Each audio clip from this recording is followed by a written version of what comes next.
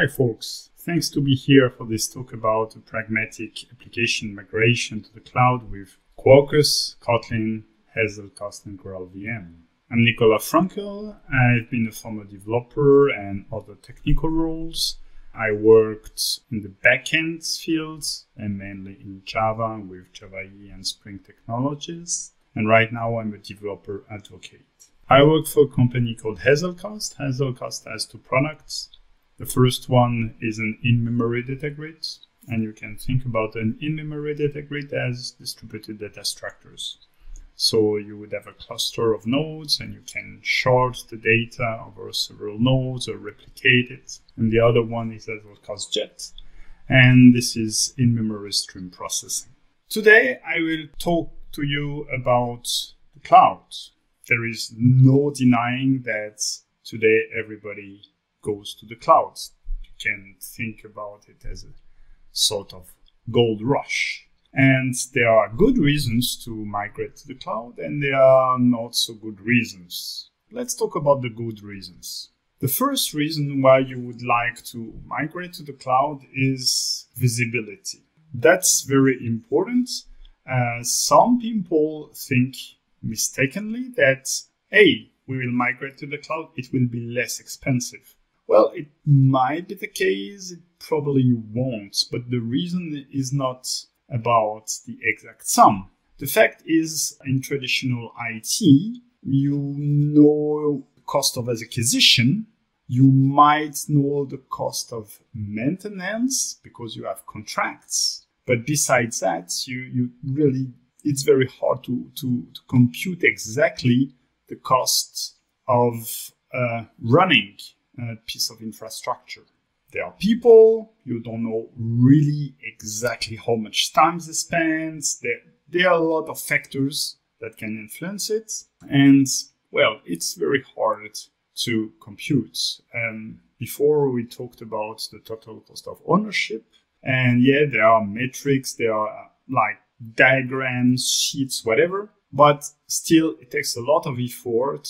And in the end, it's a best guess. Now, if you migrate to the cloud, it's very simple because you have your bill and it's broken down into, yeah, you use this service and you use uh, this much memory and this much data, this much CPU, and it costs you that. So transparency visibility is the first argument regarding migrating to the cloud.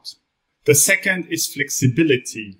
Uh, in traditional IT, uh, when you, you buy your own hardware, you must uh, scale your hardware according to the maximum peak of usage. So if you are an e-commerce shop, you probably will buy your hardware and scale it according to Black Friday, Cyber Monday, this kind of stuff. Uh, so very high peak. And during the rest of the year, the difference between the normal loads and the peak loads is just waste. You just bought that hardware uh, for this peak. The rest of the the rest of the year, sorry, it's wasted. Uh, so the idea is in the cloud, at least you pay average when you need average, and you pay like much more when you need much more. So it's very flexible. You can scale nearly at, at will.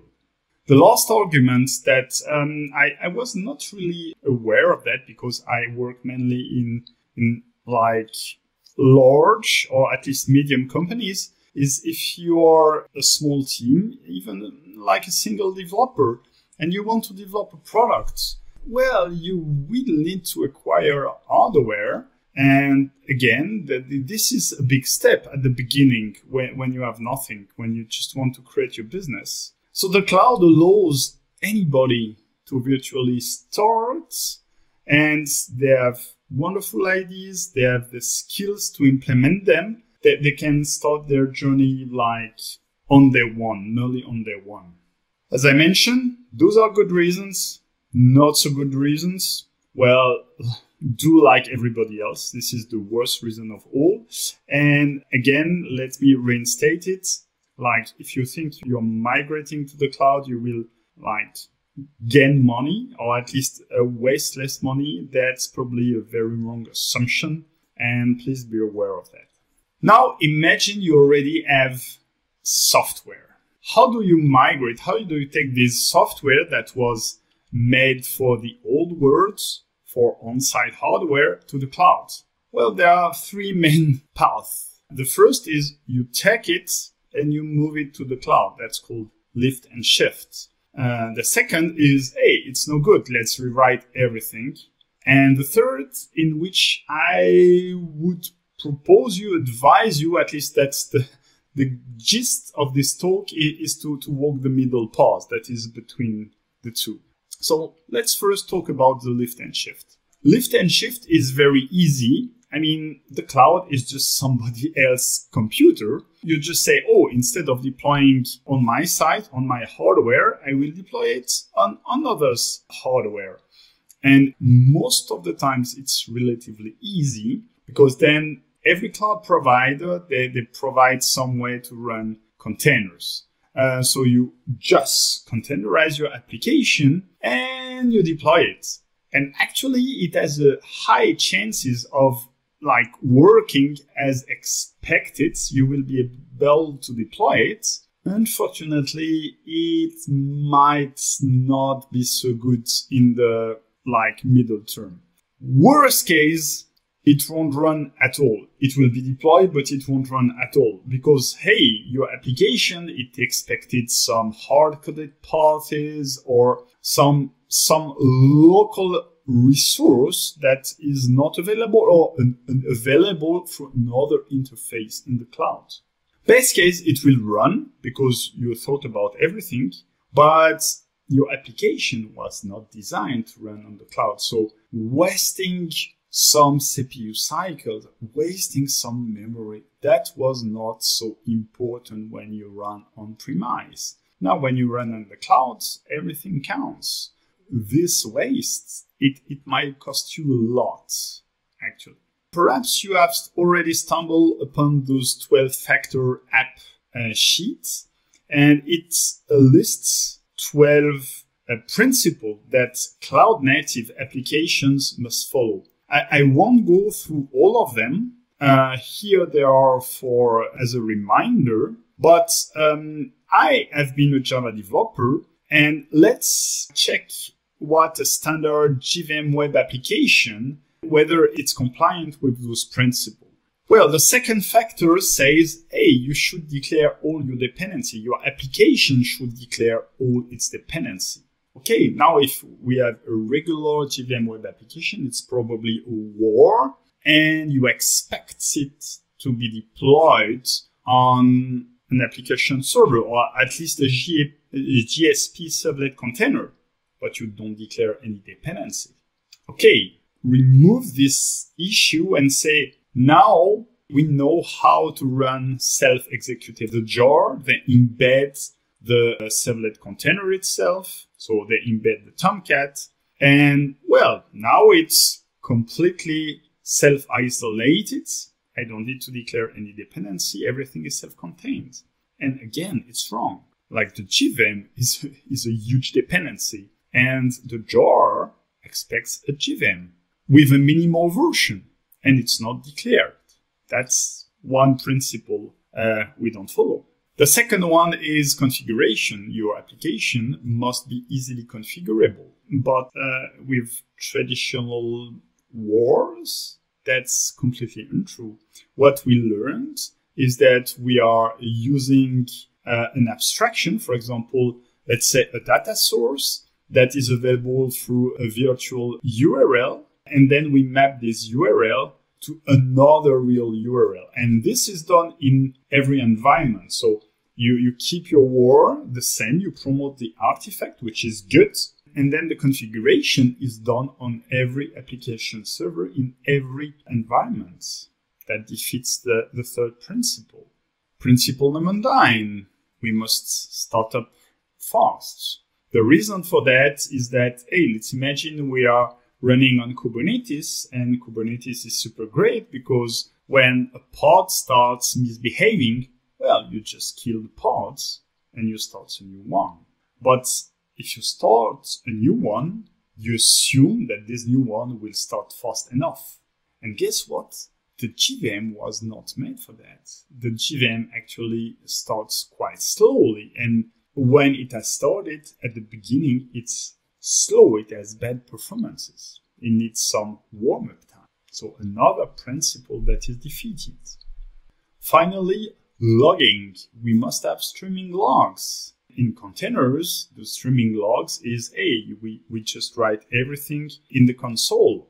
But um, again, servlet containers, not so great because your application will write in a file and the servlet container will write in another file or in multiple files. Perhaps your application also write in different files. If it's containerized, well, how do we handle that? There is no single stream of log that we can follow.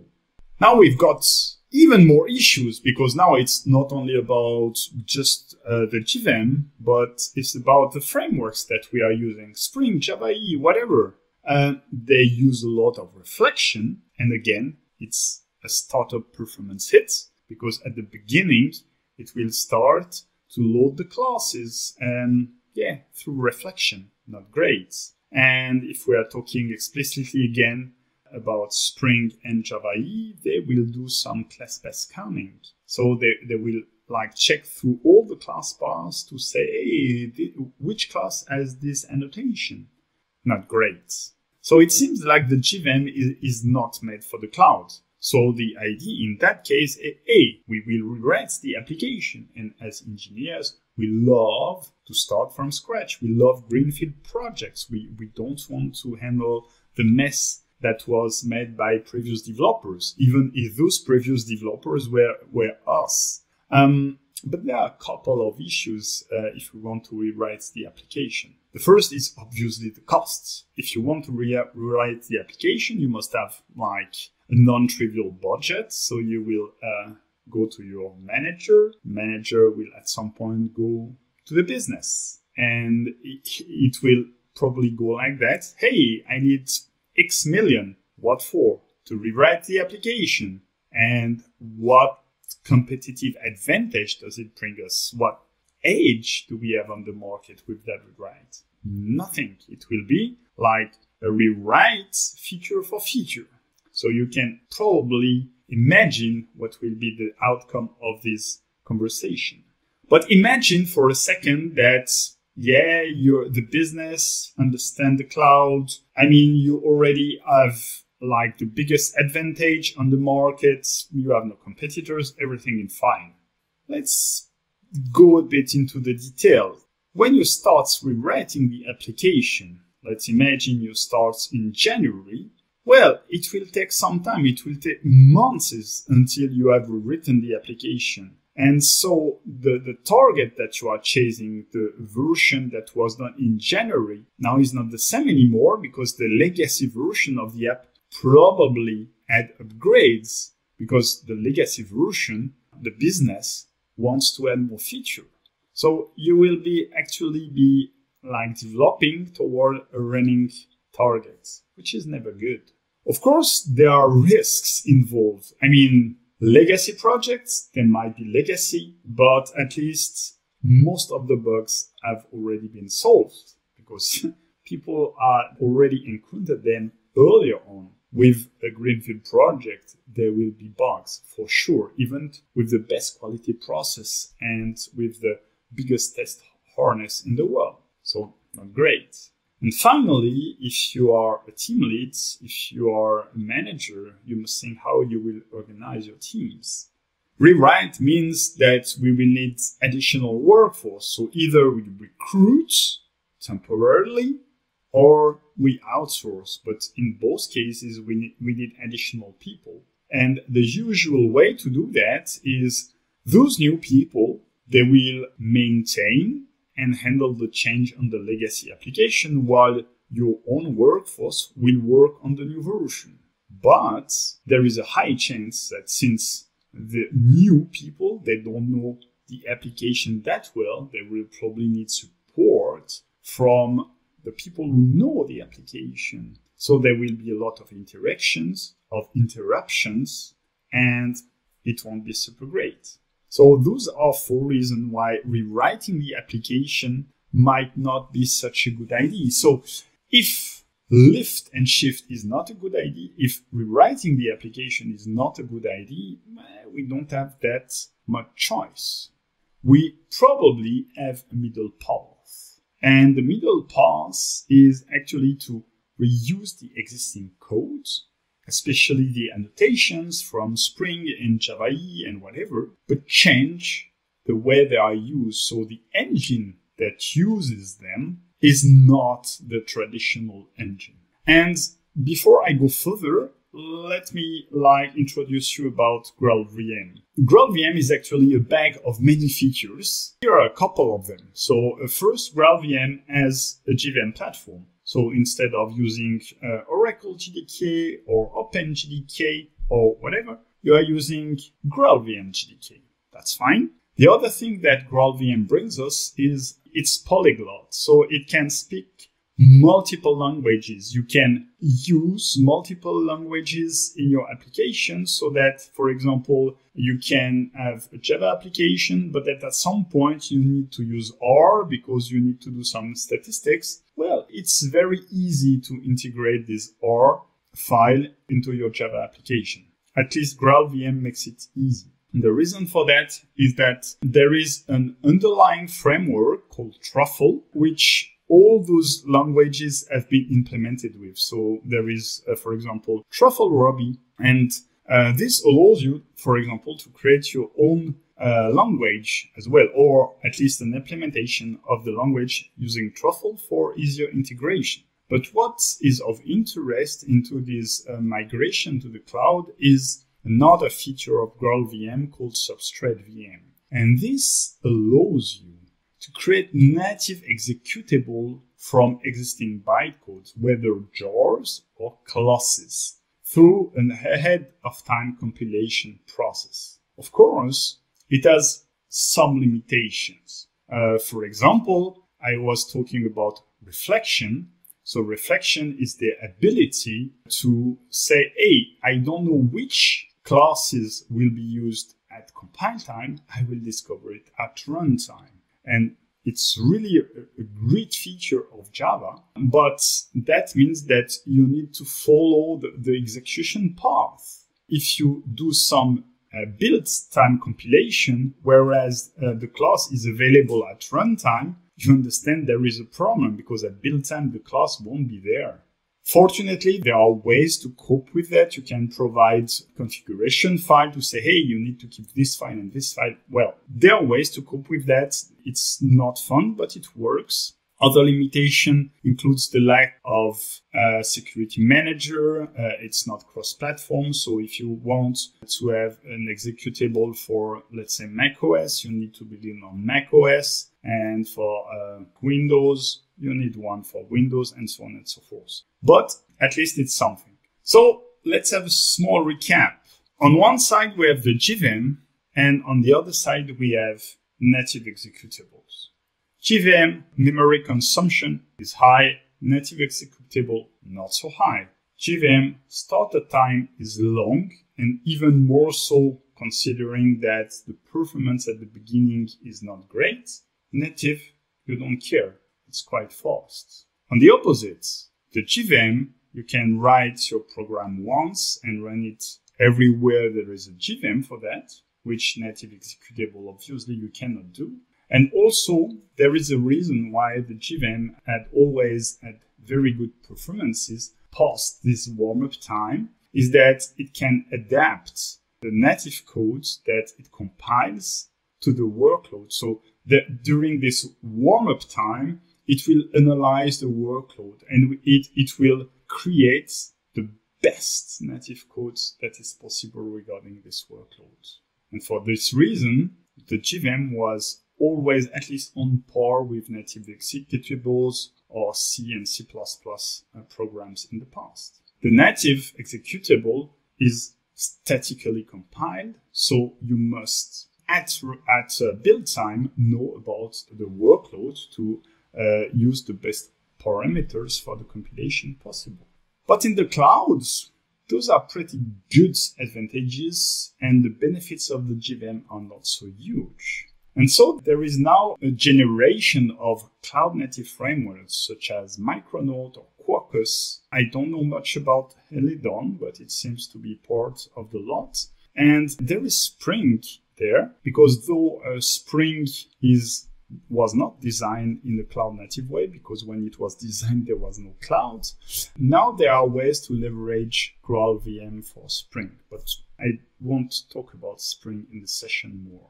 And all those frameworks, they basically have the same approach. They all use GraalVM. So in the end, you have a native executable and they handle reflection in another way. For example, Micronaut happens to uh, create dedicated class at build time, at compile time, and SQ the traditional reflection.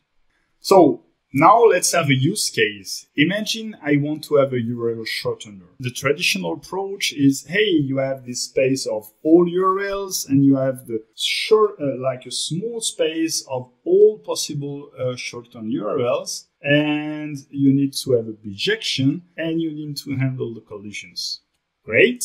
I'm not a mathematician, so I prefer to uh, use an alternative is, hey, I will generate random short links for a URL, and then I will store the mapping between the long URL and the short one, and also the opposite from the short URL to the long one. So the trade-off is instead of CPU time, I will trade storage. For the demo, I will use the following stack. I will have a Java, a legacy Java EE application, or uh, now it's called Jakarta EE, but my application is Java EE because it's legacy. I uh, still use Kotlin to write it, but it's not necessary. Uh, any JVM language will do, Java or whatever, Scala. And I will be using JAX RS because, yeah, it uses annotations. And I will be storing the data in Hazelcast IMDG. So my initial state is the following. I have the JVM that runs the Tomcat that runs my war. And when I have a request coming in, Tomcat does its magic. Probably it uses Catalina.jar that relies itself on servlet.jar and jaxrs.jar. And it knows which servlet it needs to call. So it calls the servlet, the servlet itself, well, wants to store or to read data from Hazelcast and it uses a dedicated jar, Hazelcast client.jar. That's the initial state. Now I want to migrate to cloud native and I will use, let's say, Quarkus. So the to be state in development, I will still keep the JVM because it, the JVM has ni nice features like you can debug, you can set breakpoints, this kind of stuff, we like it, and in development, it's not an issue. So we still have the JVM, but instead of having the um, Tomcat, we just replace everything with Quarkus. So they are the same um, capabilities, but implemented by Quarkus. So there is no Catalina.jar, there is a Quarkus something, and there is a Quarkus as a client. But in the same way, when a, a, new HTTP request comes in, then Quarkus will redirect the request to our servlet. But the best stuff happens when you want to deploy in a container. Like now we have the same mechanism underneath. I mean, I infer it's the same mechanism, at least it works the same, but now we have a single process and it's a native binary. I've talked a lot. Now it's time uh, for some demo. So this is the project. And I must admit, I cheated a bit. I didn't start from a legacy application. I directly created the project using the Quarkus Maven goals so that everything uh, has been readied for me. And because, yeah, you, you need to write couple of properties and there are dependency and plugins, but you can achieve the same. Of course, it will be more time consuming uh, to do uh, the same yourself by hand, but anyway, this is just to win some time. And here you can see everything has been configured. I mean, I can already use it right now. And I have this REST API And so you can see JAX RS annotations here, and you can see this is Kotlin as well. And here more JAX RS. So here I will respond to post. Here I have path, and here I have the produces to tell what it returns. Um, I, I don't want to delve too much into the code, but just as it is now, I can start a Hazelcast instance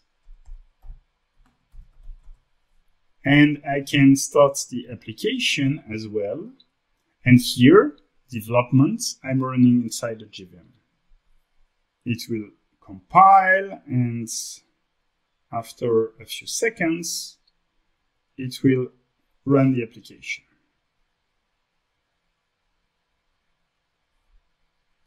So it builds the application and it runs it. Yeah, it takes a bit of time. My machine needs to wake up as well. So I will prepare the curl. Hey, it has started. Uh, so I want to store a new URL. Let's say this one, foobar.